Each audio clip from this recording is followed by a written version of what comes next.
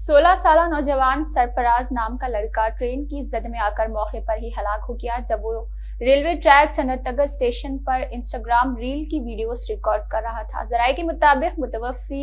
सरफराज अपने दो दोस्तों के साथ इंस्टाग्राम रील्स के लिए वीडियोस रिकॉर्ड करने के लिए सनत नगर रेलवे ट्रैक पर गया था रेलवे पुलिस ने मुकदमा दर्ज कर लिया और इसका फोन भी पुलिस रेलवे ने बरामद किया है